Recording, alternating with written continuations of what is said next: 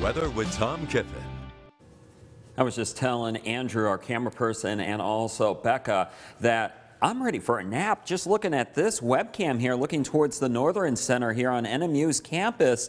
And you can see just clouds, rain showers, wet weather, even though the grass is starting to turn a little green, but just the fog out there just kind of a lazy Monday out there and 74 degrees and sunshine on Saturday didn't help matters going back to this stuff for your daytime today. All right, let's look at our fog here and as we look at visibility, we're down to a half mile visibility at Sawyer International Airport and elsewhere we do have some lower visibilities as you go into the eastern UP, Luce County Airport and Schoolcraft County Airport down to seven mile visibility. As we look at three things to know here, we're going to keep the rain showers and fog around for tonight and then also tomorrow as well, some rain showers hang around, maybe some fog. Also tonight to note, it's a slight chance, it's a low chance. Could see some wintry precipitation in some of the higher terrain areas west of Marquette. But we're back to sunshine Wednesday. Look at that, sunshine, but temperatures aren't really going to respond much. Not in the 60s and 70s, but still I think inland areas get into the 50s.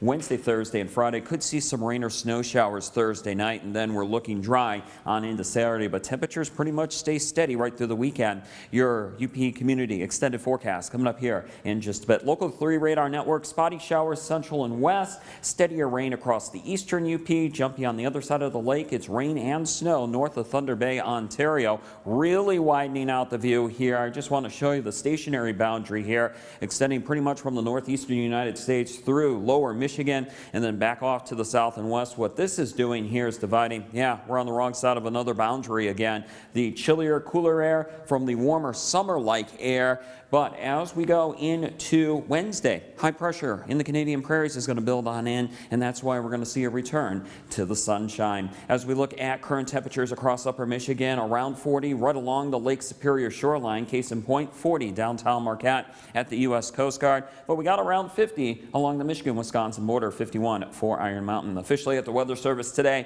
we had a high temperature of 47. 41 was today's low. Downtown Marquette at the U.S. Coast Guard, chillier. 41 was today's high. 37 the low, and almost a quarter inch of rain at the Weather Service in Negaunee Township. So the rain showers are going to continue tonight. Can't rule out some spotty Wintry precipitation as you go into the higher terrain west of Marquette. Lows tonight 30s to around 40. Tomorrow temperatures range from around 40, maybe the 30s right along Lake Superior to around 50 south central UP. And then as we go into Wednesday morning here, we'll start off with temperatures in the 30s. A few spots inland west could start off in the 20s.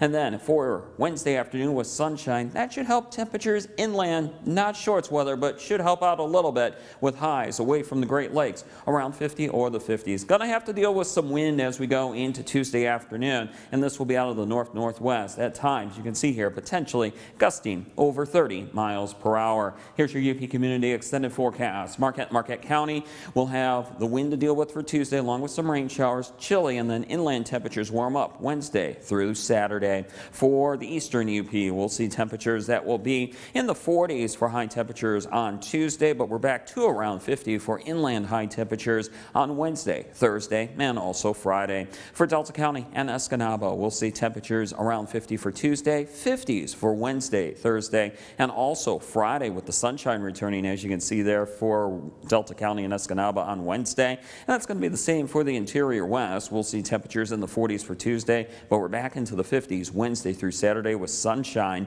And then for the Keweenaw Peninsula, we'll see temperatures that will be in the 40s for Tuesday, 50s for Wednesday, Thursday, and Friday, and also Saturday as you go inland. And once again, just a little reminder, we could see a rain shower or snow shower. Not looking to add up to much at this point, Thursday night into Friday morning. Becca, we'll send it back over to you.